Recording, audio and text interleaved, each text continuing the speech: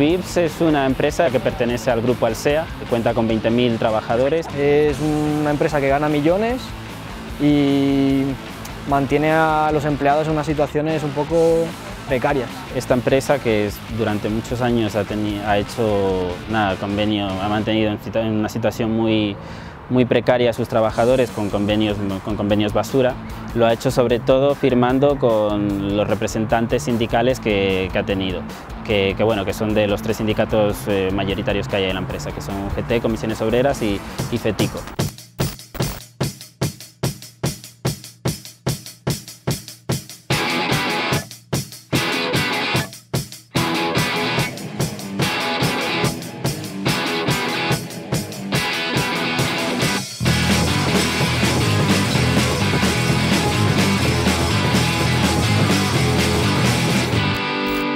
La mayoría de gente que trabajamos en esta empresa eh, somos gente que tenemos contratos muy, con, muy poquitas horas, entre 10, 15, 20, 20 horas. Entonces cobramos de salario base 300, 400, 500 euros, que lógicamente no, con eso es difícil llegar a fin de mes. Lo que normalmente hacemos son lo que ellos llaman horas complementarias.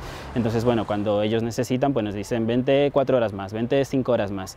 Y nada, esa es la manera en la que, en la que ellos completan el servicio. Tengo compañeros que trabajan hasta 25 horas con un contrato de 15. Muchas veces excede el límite legal de horas complementarias que se pueden hacer, nos las pagan como si fueran horas ordinarias. Cuando te das una baja o te pasa algo, lo que te pagan al final es lo que está en el puesto en el contrato, que no es lo que tú acabas haciendo en el VIPS. en vacaciones no te pagan las 25 horas que haces, te pagan las 15 del contrato.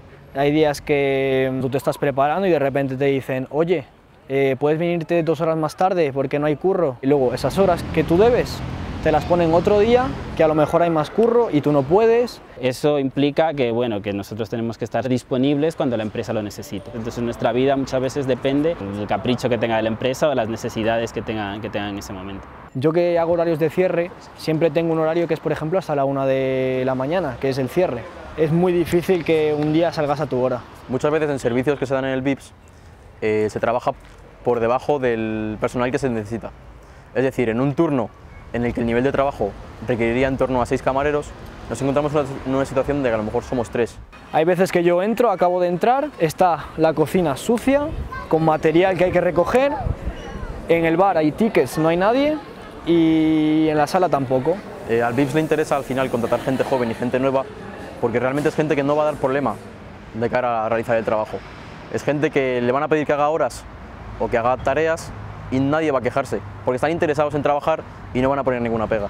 Nosotros queríamos presentarnos a las elecciones sindicales y para ello eh, teníamos que formar una lista con, con 23 candidatos o más.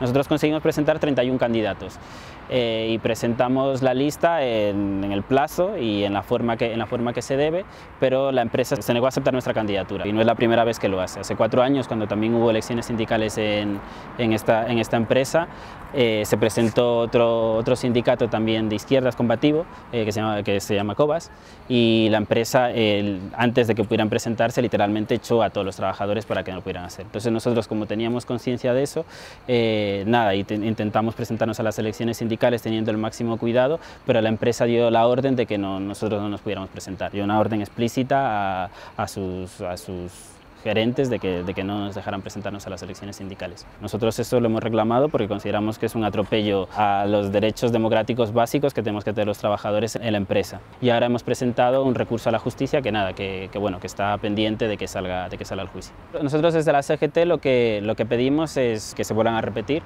que haya un proceso transparente y que sean realmente democráticas. Que nos hayan impedido presentarnos a las elecciones sindicales supone que, que el conjunto de la plantilla del BIS va a seguir una representación real que defienda realmente sus intereses y que en los próximos convenios que se negocien y que se firmen, pues seguramente vayan a seguir reproduciéndose las mismas condiciones laborales que seguimos viviendo.